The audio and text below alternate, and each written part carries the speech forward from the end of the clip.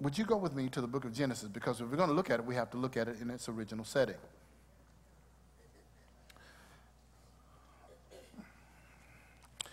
Um,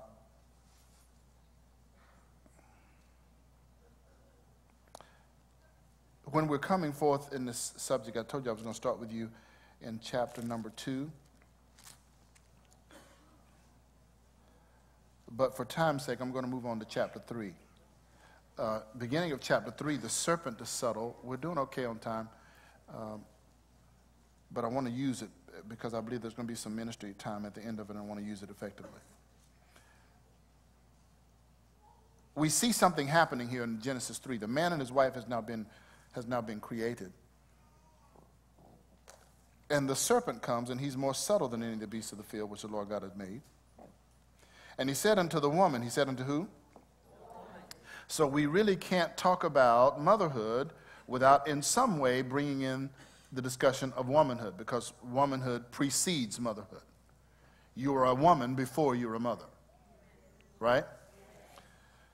So he talks to the woman, and, and he said, he brings up and he says, Yea, hath God said, You shall not eat of every tree of the garden?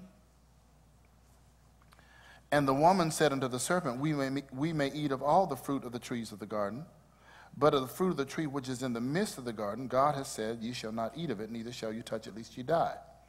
And the serpent said unto her, Woman, ye shall not surely die. So he questions God's instructions citing not what liberty God gave them, but what restriction God placed upon them.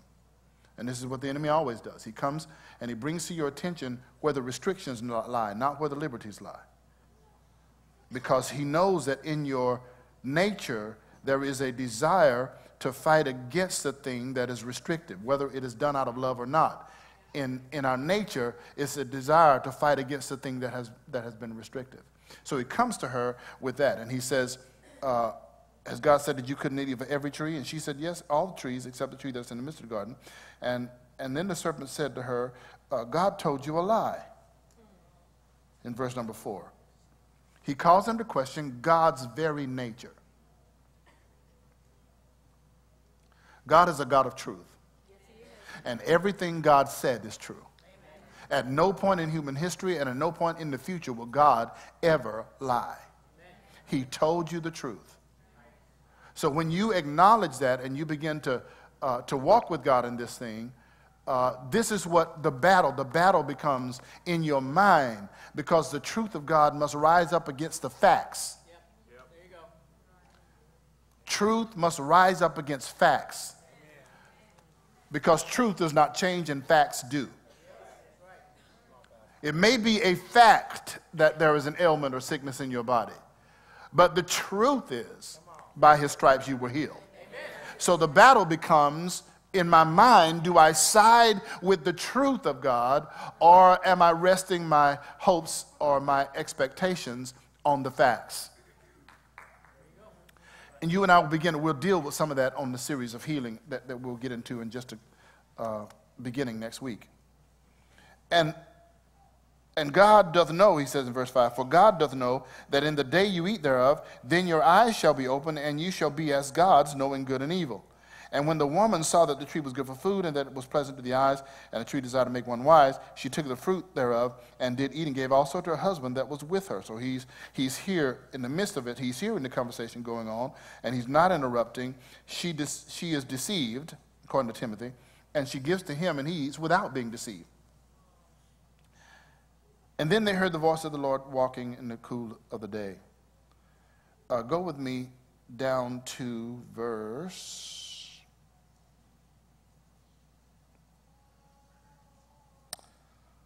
Uh, 14. Prior to that, you know, he calls them and they, they, some things become apparent. Where they once loved the presence of God, they're now fleeing from it. Uh, where they once knew no fear, now they are fearful in terms of their relationship with God. In verse 14, and the Lord God said unto the serpent, Because thou hast done this, thou art cursed above all cattle and above every beast of the field, and upon thy belly shalt thou go, and dust shalt thou eat all the days of thy life. And I will put, this is verse 15, and I will put enmity, because this is the first time we're talking about production now. This is the first time we're talking about the notion of motherhood, is in this verse. He says, I will put enmity between thee and who? I will put enmity between thee and the woman, and between thy seed and her seed. And he goes on to say about the seed, and it, the seed of the woman, shall bruise thy head. Please circle in your Bible the phrase bruise thy head, because it is an oriental phrase, it is a figure of speech, which means to break the authority, or to break the reign, or to break the power. I'm putting enmity between thee and the woman, and between thy seed and her seed. And the woman's seed is going to break the power of the devil. He's going to break the reign of death. Are you listening to me? Now, although God is dealing out curses, and the word curse literally means to him in, it means to him around. So, so literally, he was doing damage control. Something had broken through. The membrane, as it were, between heaven and earth is broken through. And God is now coming and mending. He's, he's hemming things around so that the damage can't overflow itself. And in the midst of him dealing out the curses, he comes with this word The woman's seed is going to break your authority is going to break your power and is going to release the reign of death. Now, that, that is a serious statement. It has very serious implications here on Mother's Day because here's what it says that once sin seized humanity, once sin seized the control of humanity, it had a new master. Man had a new master, and it was death. Death towered over everything. Death was the largest figure on the horizon, and it cast its shadow over everything that man was about. Death came to his physical body, death came to the way he thought. Death came to the works of his hands. The, the ground began not to, produce, not to yield its life to him, but death touched everything. But in this statement, what God is saying is that the seed of the woman is going to, listen to me, listen with your heart. The seed of the woman is going to break the reign of death. It's going to break the reign of death. Death will no longer be the largest thing on the horizon. Listen to Romans chapter 8. It says, Therefore, now no condemnation to them who are in Christ Jesus. For the law of the Spirit of Spirit of what? The Spirit of life in Christ Jesus has made me free from the law of sin and death. So now death is not the largest thing on the horizon anymore. The largest figure on the horizon is life. Life in Christ Jesus. So that everything I touch now is to produce life. It is to come forth living. My finances are supposed to multiply and increase and produce. My children are supposed to be that way. They're not supposed to end up in jail, not supposed to end up in some kind of perverted, twisted thing. They're to produce life. Are you listening to me? My relationship is to produce life, is to be life giving. Because life is what stands most prominent on the horizon now, not death. And it came at this promise of Genesis 3:15. The seed of the woman is going to break the authority. Is going to stop the reign of death. Oh, I don't know about you, but every time I think about that, it makes me happy. It makes me happy that God has made a way so that death does not have to touch. Death no longer has the right to touch anything that belongs to me.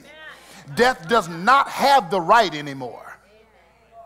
God has so set it up that my life is to be filled with life giving influences with everything that I touch. And so, now what does this say though? What does this say? It says that, that death seized the sovereignty and death held mankind in slavery until the coming of Jesus. But here's what it says about motherhood This, is, this astounds me. Because the promise God just made hinges on motherhood. If there is no motherhood, if there is no seed of the woman, the promise cannot take place. With that, God elevates womanhood and motherhood as high as it can be elevated. Because there is no way fulfillment of the promises of God can take place in the earth without first coming through the womb. God hallows the womb of the woman. He sanctifies the womb of the woman. And he declares that through that vehicle, through the womb of the woman, all of the promises of God are going to come into the earth realm. And so Paul recognizes what, how womanhood puts men and women on, on a place of equality because he says, although the woman was created for the man, the man is by the woman.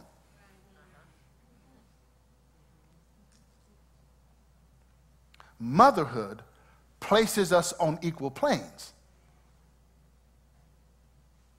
Yes, there is a connection, and I'll get to this in a minute. There is a, a connection and responsibility for the woman to complete the man. But there is no man on earth without having first come through the womb of a woman.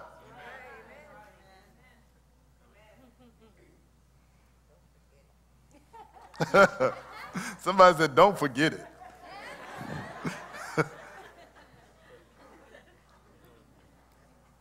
So listen to me. God rests the fulfillment of all of his promises on motherhood. I mean, that's amazing to me. When a child comes into the world, a child comes with promises built in. Now, here's, here's the other thing about motherhood that this, this focuses on. God made a promise in Genesis 3:15. So all the promises of God hinge on a woman's ability to reproduce. Now she can't reproduce without a man. Two women can't make a baby. I'm not going to stay on it long. I just want you to realize. I want you to realize this morning two women cannot make a baby. Biology, psychology, and every other ology is against the same genders coming together. It absolutely is. Theology is against it, biology is against it, psychology is against it. Because God had order, God has order. He set the order in place. The order is that through the womb of the woman, I'm going to bring all of my promises into the earth.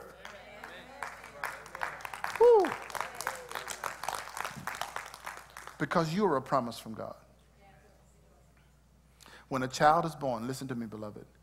When a child is born, it is a signal that God is not finished with mankind. That he's, he's embedded into the birth of that child something significant for its day. It's born at its time for a reason. And so, as I was meditating on this, the Lord said to me about barrenness, about those who, who have not yet produced a child, or have produced a child and lost one, or two, or three, or four. To pray over your womb this morning because I want you to realize that is God's doorway to his promises being fulfilled. So I want you to lay your hands on yourself. Ladies, you don't have to stand or anything, just lay your hands on yourself.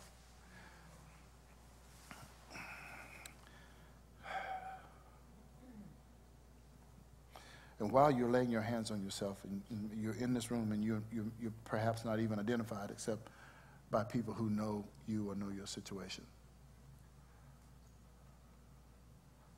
I want to just tap into this thing of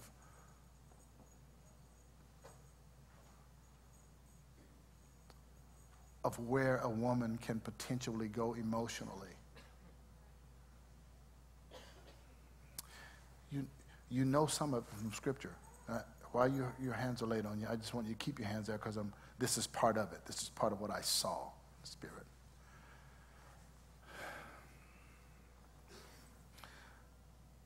Uh, Hannah was unable to have children.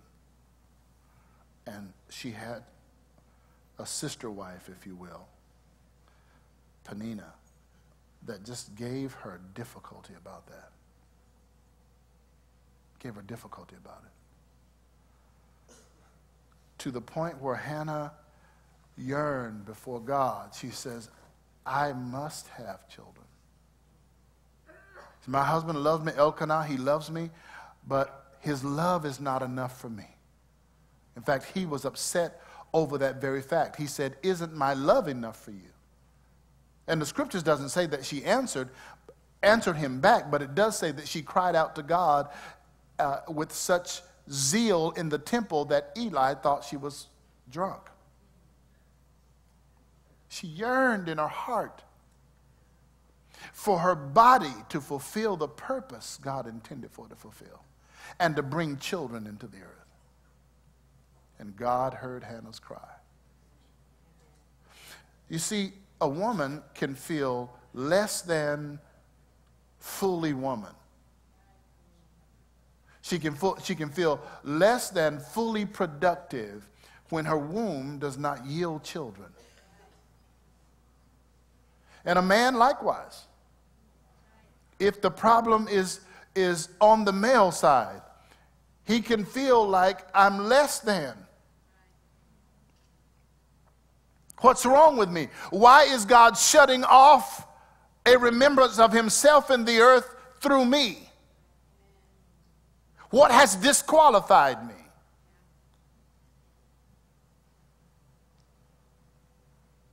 But I've come with some news this morning. Listen to me. I've come with a word from God for you. that what stands on the horizon of your life is not barrenness. What stands on the horizon of your life is Isaiah 54. Go with me to the 54th chapter of Isaiah.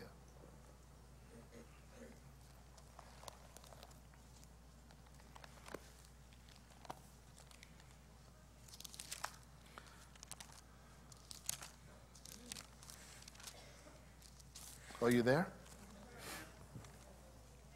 54, verse number 1.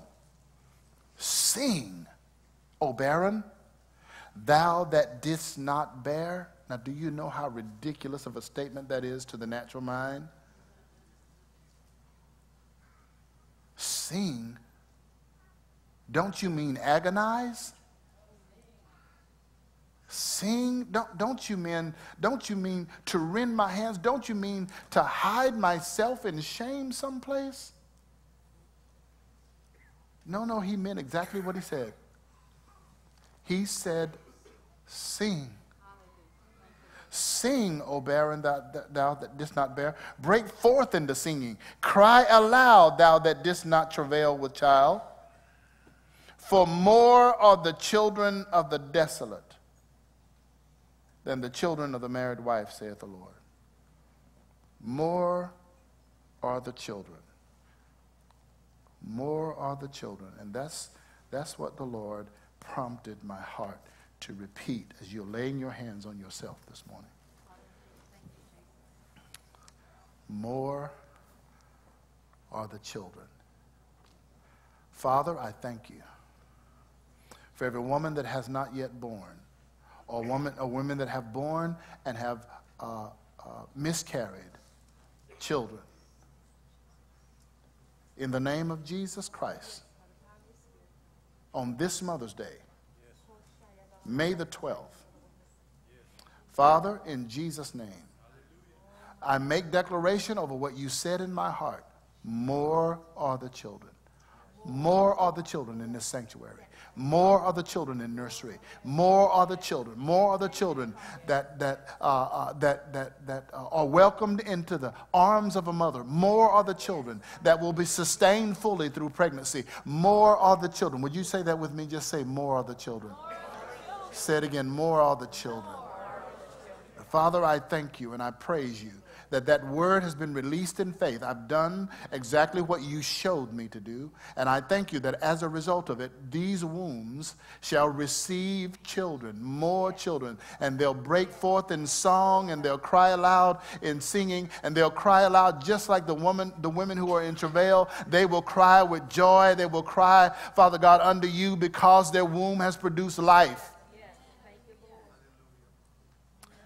You said also in Deuteronomy, the 28th chapter, that none shall be barren among you. And Father, I thank you and I praise you that this day, this Mother's Day, you marked this time for the women in this house. At this point in the service, you've marked this time for the women in this house to bring forth children to bring forth children. to Speak to the womb. And thank you, Father God. The wombs are strong and sustain life full term.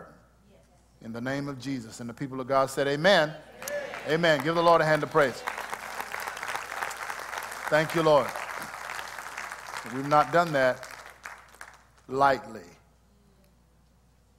Joseph and Maggie have a baby now just because something like that happened in the service one day and God gave them a child. And he'll give more children. Somebody say more of the children. Okay, so as we move from, from, from there, seeing God making the promise in Genesis 3.15 that he was going to use uh, the woman to bruise the head of the serpent, he's going to take the authority of the serpent. I want to say something about motherhood now. Uh, because the reproductive process lets us know that the body of Jesus came from Mary. You remember the scripture says in the book of Hebrews, uh, sacrifices and offerings thou wouldest not, but a body hast thou prepared for me. And lo, I've come to do uh, that which is written of me in the volume of the books. A body was prepared. What happened is that the seed, which is God's word, did like the natural seed went into the egg and released a DNA code. It wasn't the natural seed of man, it was the supernatural Word of God, being born again by the Word of God. Same thing happened to you, an immaculate conception happened to you at the point where you were born again. The Word of God went into the womb of your spirit, and the DNA of God was released, and you became His child. Well, the same thing happens in a woman when she is seeded that the sperm swims its way and it wiggles its way after it's reached its de- destination into the egg and releases a DNA code. The DNA code determines everything about the child. God used the example of womanhood to exemplify that that he gets his word into you. And just, just as the woman, remember, uh, you remember what Mary's words were? And these are incredibly important words. When Gabriel came to her and said, uh, you know, you're going to have a child and his name shall be called Jesus. He'll save his people from his sins. Mary said in uh, Matthew chapter 1, she said, How shall these things be, seeing that I know not a man? And the, the answer of the angel to her was, the Holy Ghost shall come upon you and overshadow you. God has given the woman an irreplaceable responsibility to bring forth legitimate citizens to the earth. There are no aliens. I don't care what you think about your teenage son or daughter. They are not aliens. They came to the earth through the birth process. They're legal here. And because of their legality, the woman then is God's answer to complete his promises. My seed, any man's seed, is left incomplete unless he has the partnership of a woman to complete it. And that was true even when it comes to God. His promises were left unfulfilled without a woman needing to complete, uh, being needed to complete that process. Once she completes it, she's a nurturer. Remember, uh, remember what Jesus said in Psalms 22. In Psalms 22 is one of the most dramatic passages of scripture I have ever read or studied. Because in Psalms 22, I find Jesus, the Son of God. David is prophetically talking about him, but I find Jesus, the Son of God, going in and out. He dances on the realm of sanity in Psalms 22. But one thing he says there, in the midst of all of that pressure being placed on him, because you understand that on the Son of Man was placed the sins of us all. The sins of us all. And it pleased God to bruise him for our sake. But he makes this statement in Psalms 22 Thou hast caused me to hope while I was on my mother's breast. Thou hast caused me to hope while I was on my mother's breast. Because the woman is not only the factor that completes the promises of God and legitimizes the promise of God on earth, but she is also a nurturer. She's the one who keeps speaking words of life and hope and strength into the child. So we have a colloquialism that says this the hand that rocks the cradle, anybody know the rest of it? Rules the world. The hand that rocks the cradle rules the world. Because as a child, as a, as a child, Jesus found hope. He found hope in his mother's arms. She told him, I don't even know everything about who you are, but I do know how you came into the world. One day, maybe this was her conversation with him. One day I was just minding my own business and an angel appeared unto me and told me that I was going to have you. He even told me your name. And your name means Savior. Your job is to save people from their sins. Listen at this. Have you ever thought about have you ever thought about what Jesus would hear from the ears from the mouth of his mother as he as he nursed at her breast? what she said as she wiped his little tears. The psalmist said, She calls me to hope. Now, that's no different than a mother who has a child and the child grows up and somehow becomes wayward, somehow turns his or her attention down a dark alley. Ask the people in prison this morning Who's there with you when everybody else, when all of your homeboys has turned their back on you? Ain't nobody writing you. Ain't nobody sending you uh, uh, uh, uh, uh commissary.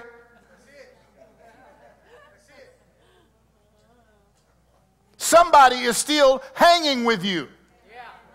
And many times, not all the time, but many times, it's the mom that's doing it. And who's ready to take you in when your sentence at the pen is over? Mama's willing to take you in. Because something built into her causes you to hope. In this way, she pictures the relentless pursuit of the Holy Spirit after you. She pictures how relentless the Holy Ghost is. No matter what you're going through, no matter how difficult, the, the Holy Ghost just keeps coming after you. He keeps loving you, keeps talking to you, keeps winning your heart.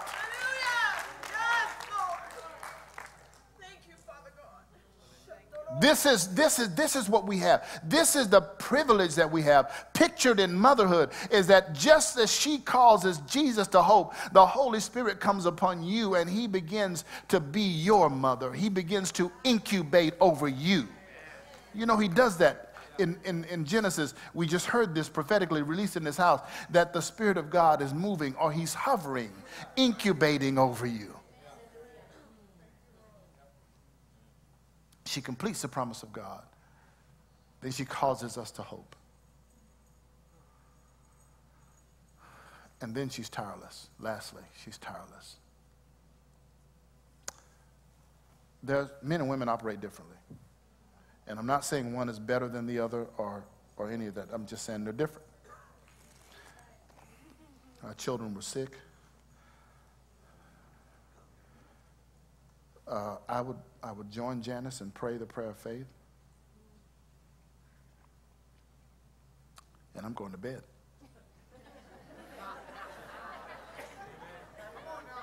I believe what I just prayed. I'm going to bed. Not Janice. She'd wait with that child. And on occasions, waited all night long.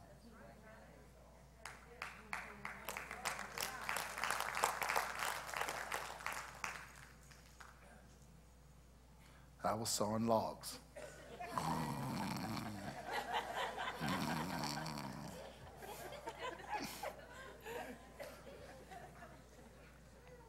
There's something to be said about there's something to be said about the tenacity of a woman. Tireless, just won't quit. In that way, she also pictures the Holy Ghost. Because he's going to stay with you. Remember what Jesus said about it? He, when he, the Spirit of truth, has come, he will guide you into all truth, and he will abide with you how long? Forever. Forever.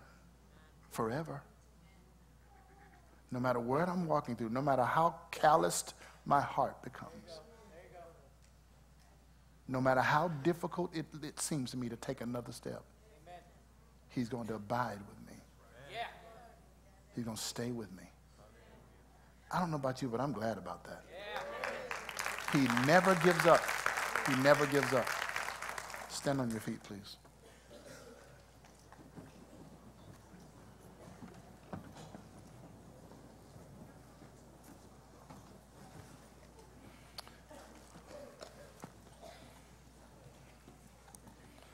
He couldn't lift womanhood any, to any higher plane than he's already lifted it.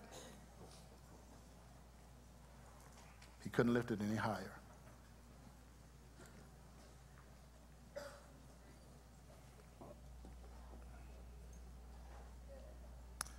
She pictures something. She pictures the Holy Spirit, the powerful Holy Spirit at work in you. And this morning, I just want to pray for you. We'll be here at the end of the service for any of you who have not received Christ as your personal Savior and Lord, and you have perhaps walked away from Him or backslidden. You don't know Jesus as your Savior. If you die in your sins, you die separate from God, and you remain separate from God for all eternity. Did you hear what I just said? Please don't walk out of here with that. Don't walk out of here separate from God because you don't know when your last breath is. Did you notice the trees this morning when you came in had been trimmed and, and a wonderful job had been done on them? A relationship with a friend made that happen. And uh, he, who has a tree trimming business. His name is John. John is a 47 year old brother who's dead today. A father of six children and a husband. Got a gallbladder inf- infection that turned into septic infection, and it killed him at age 47. He went in the hospital one day just saying, I don't feel well. And while he was sitting in the hospital, it went from I don't feel well till I feel like I'm dying. Less than 24 hours, he was dead.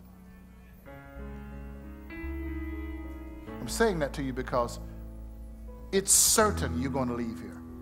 It's absolutely certain. How or when, I don't know. But the truth of it is, you don't know either. You don't know either. So, in the day, there's a book of Hebrews, in the day that you hear his voice, don't harden your heart. Yield to his provoking you, yield to the wooing of Jesus, because this could be your last day. God forbid, God forbid, God forbid, God forbid, God forbid. This could be your last. And if you're in here this morning and you have not made Jesus the Lord of your life, or if you walk with Jesus and you backslid, and you want to make things right with God, right now is your opportunity to do so. Right now, step out into the aisles, come down front. I just want to meet with you, and talk with you. And some other people want to give you a, a good, solid head start in your Christian walk. Best thing you could do for mama. Commemorate the day by giving your heart to Jesus.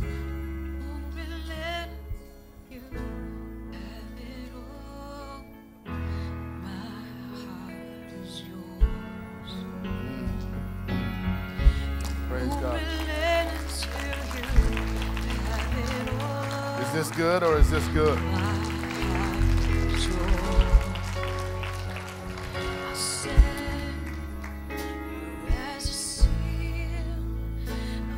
Anybody else? Anybody else this morning? I just feel like the Lord's tugging at your heart. Somebody, somebody, somewhere. God's tugging at your heart.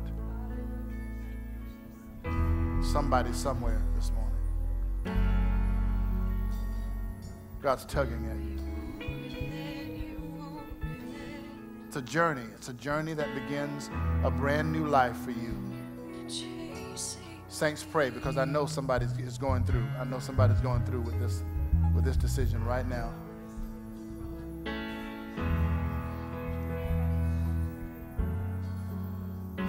Thank you, Lord. Thank you, Lord.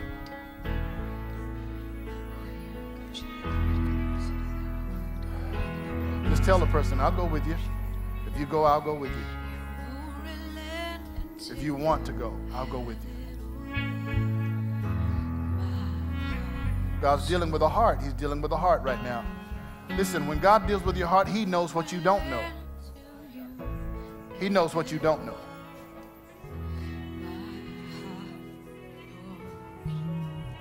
This is not the satisfaction of some itch. This is God calling.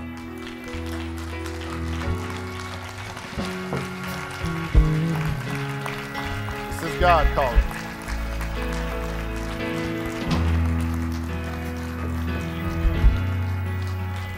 I love it when they get here and God's already dealing with them. Heart's already being dealt with by the Spirit of God.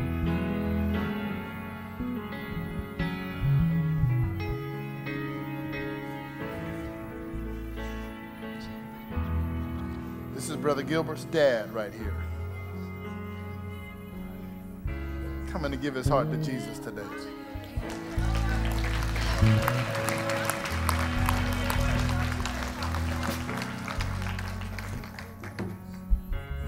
It's not just another day, Willie. It's not just another day. It's God's appointment. It's God's appointment for Pam, who's this good looking man? Your your son?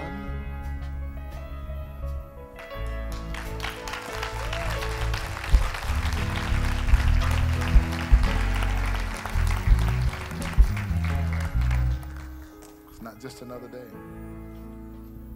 This is not just another day.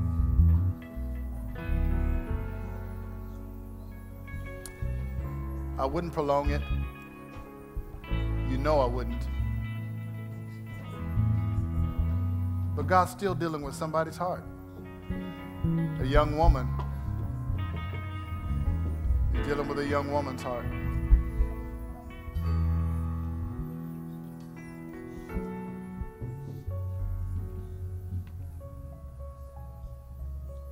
Hear me, he knows what you don't know.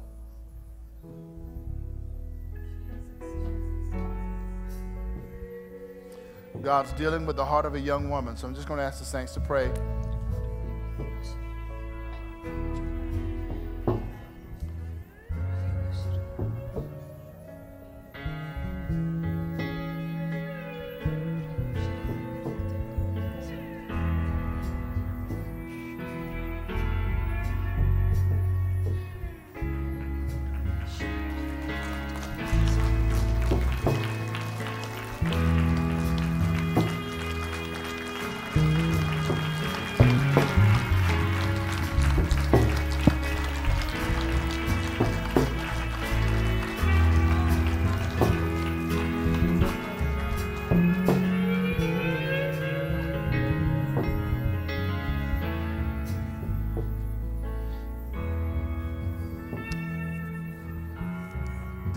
Angels in heaven are doing right now.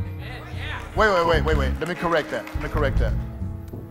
Because the scripture says that there is rejoicing in the presence of the angels. We say that the angels rejoice. The scripture says there's rejoicing in the presence of the angels. Who's in the presence of the angels? God Almighty. God Almighty.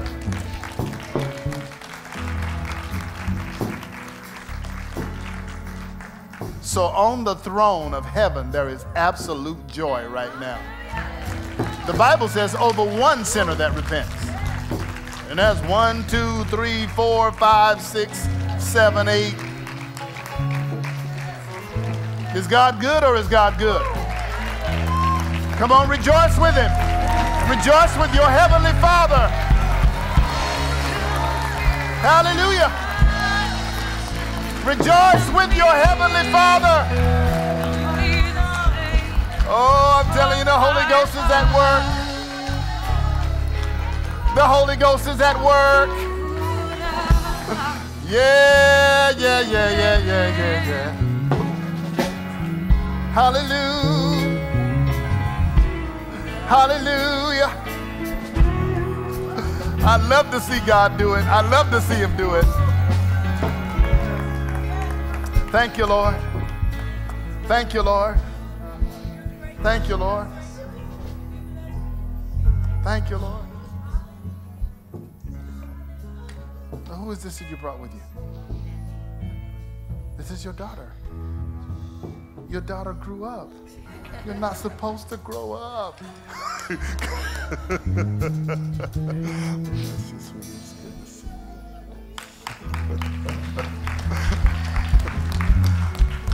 supposed to grow up.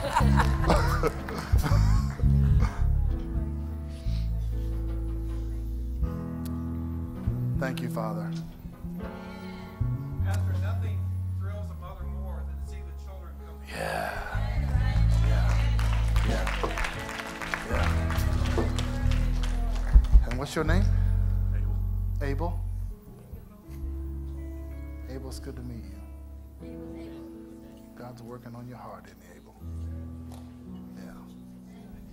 Who is this standing next to you? My girlfriend. Your girlfriend? Veronica. Veronica. Hi, Veronica. Did you and Abel make a decision to come to Jesus today? It's not just another day. This is the first day of the rest of your life. This is the first day.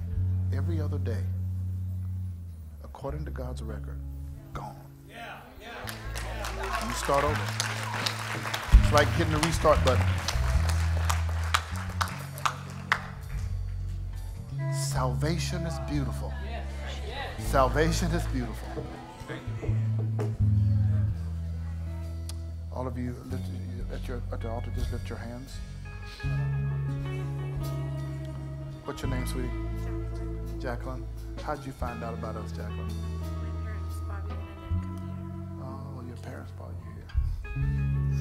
the canons are your parents. Too cool. Thank you, Lord. God's already working on your heart.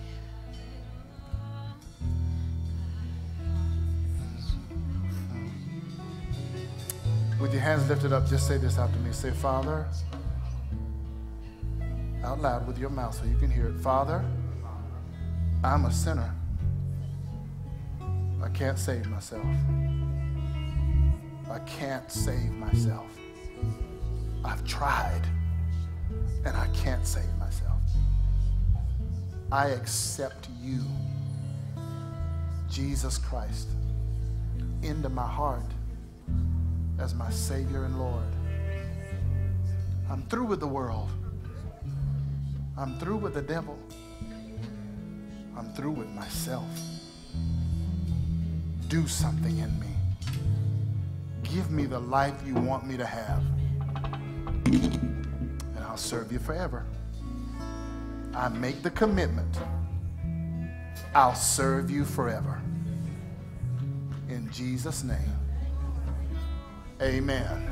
Amen. Give God a hand of praise. Come on, saints of God.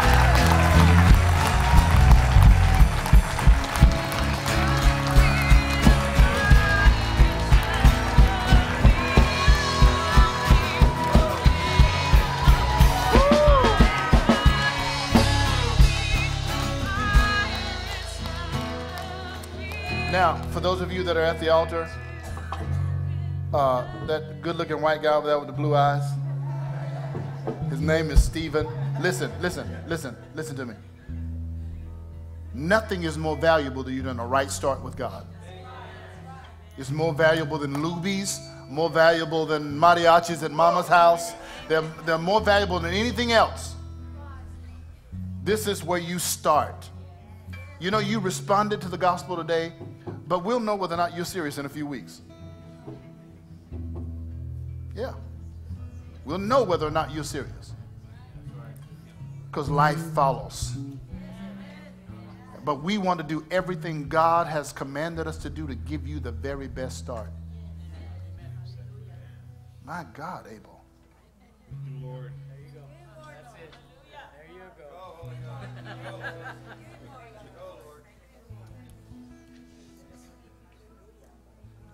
Trembling, that trembling on the inside is the Spirit of God making something brand new, powerful in you. God's going to use you. He's not just going to save you, He's going to use you. Because you have a voice. You have a voice from heaven inside you. It's got to be released. It's got to be released. Can't stand in his way. You got to walk with him. You got to walk with him. Walk with him. All right. Follow Stephen right over there. Give, give God some praise. Give God some praise. Give God some praise.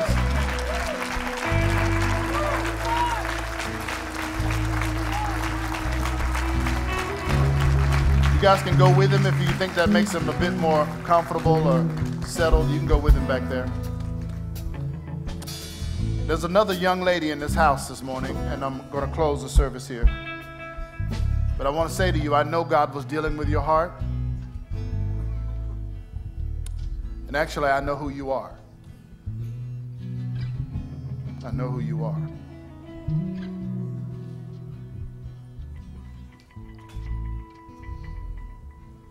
It's not too late.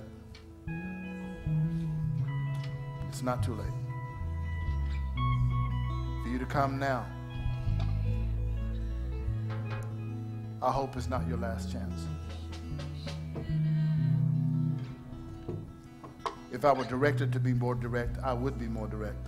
I don't have a problem with being direct. Somebody say amen right there. but I'm just not directed to be more direct than I am right now.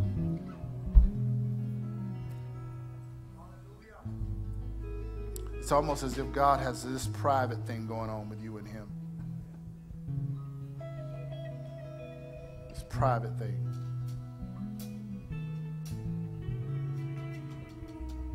Your heart's racing inside you right now.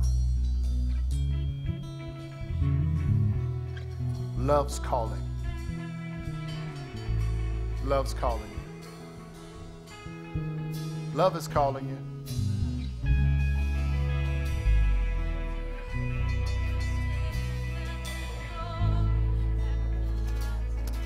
Father, I just bless you and thank you and praise you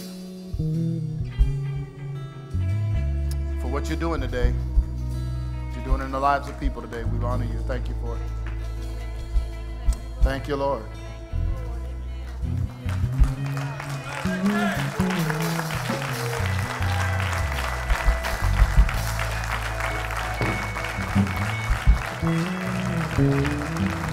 Beautiful.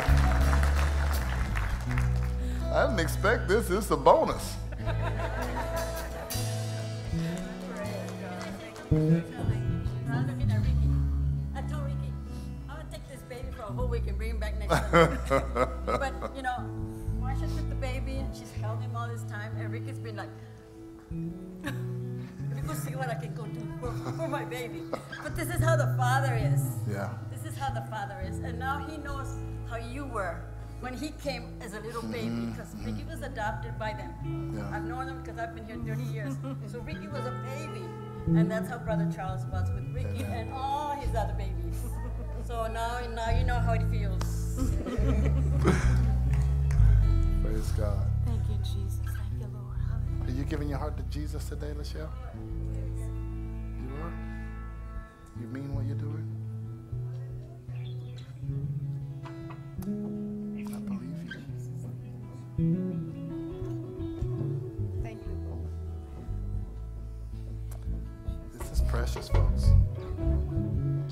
God is a restorer, isn't he? God is a restorer. Amen. Father, your, your hand of conviction is upon her. Her hands are trembling in my hands. I thank you for touching Lachelle's life today. Say this after me, Lachelle. Say, I'm a sinner. I can't save myself.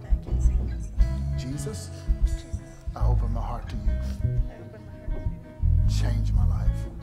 I give you my life. I'm yours now. I'm through with the world. I'm through with the devil. I'm through with myself. Thank you for making me the Lord, making you the Lord over my life. In Jesus' name. Amen. Amen. Amen. Amen. Bless your heart, girl. Bless your heart. Go right back there. Go right back there. Go with her. Hallelujah. That's good right there. A grandbaby grew up with a saved mama. That's a good thing. I said that's a good thing.